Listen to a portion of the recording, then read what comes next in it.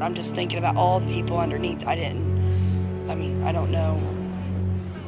It just crumbled all the way down to the ground. It was the scariest moment I've ever had to experience. Of uh, a lot of people trying to do what they could. And I think catastrophic is an accurate description and word to use. So we're continuing to stay on the air to bring you the very latest on this developing story.